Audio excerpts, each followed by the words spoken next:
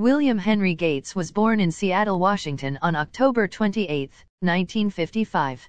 He was the middle child of William H. Gates, a prominent Seattle lawyer, and Mary Gates, who worked as a teacher before she had kids. Bill had an older sister, Christy, and a younger sister, Libby. Bill loved to play board games and was competitive at most everything he did. He was an intelligent student and his best subject in grade school was math. However, Bill got easily bored with school and ended up getting into trouble a lot. His parents kept him occupied with outside activities like Boy Scouts, he earned his Eagle Scout badge, and reading science fiction books. When Bill turned 13 his parents sent him to the Lakeside Preparatory School hoping it would prove more of a challenge for him. It was at Lakeside, where Bill met his future business partner Paul Allen. He also was introduced to computers at Lakeside. At the time when Bill was growing up, there weren't home computers like the PC, the laptop, or the tablet like we have today. Computers were owned by large companies and took up lots of space. Lakeside School purchased time on one of these computers that the students could use. Bill found the computer fascinating. The first computer program he wrote was a version of tic-tac-toe. At one point, Bill and some of his fellow students were banned from using the computer because they hacked it to get extra computing time. They then agreed to look for bugs in the computer system in return for computer time. Later, while still in high school, Bill wrote a payroll program for a company and a scheduling program for his school. He even started a business with his friend Paul Allen writing a computer program that helped to track traffic patterns in Seattle.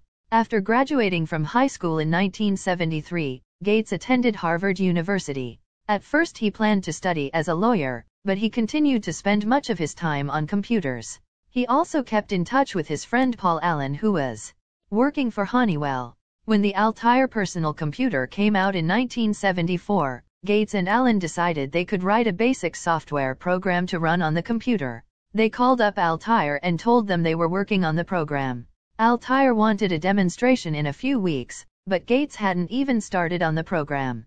He worked hard over the next month or so and, when they finally went to New Mexico to run the software, it worked perfectly the first time.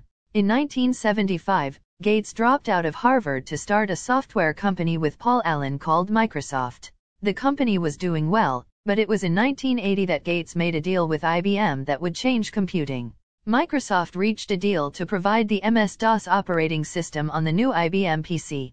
Gates sold the software to IBM for a fee of $50,000, however he held on to the copyright of the software. When the PC market took off, Microsoft also sold MS-DOS to other PC manufacturers. Soon, Microsoft was the operating system in a large percentage of computers around the world. In 1985, Gates and Microsoft took another risk. They released the Microsoft Windows operating system. This was Microsoft's answer to a similar operating system. Introduced by Apple in 1984. At first, many people complained that Microsoft Windows wasn't as good as the Apple version. However, Gates continued to press the open PC concept. Microsoft Windows could run on a variety of PC-compatible machines, while the Apple operating system only ran on Apple machines. Microsoft won the operating system battle and was soon installed on nearly 90% of the world's personal computers. Gates wasn't satisfied with just winning the operating system portion of the software market. Over the next few years he introduced new products such as Windows Office programs like Word and Excel.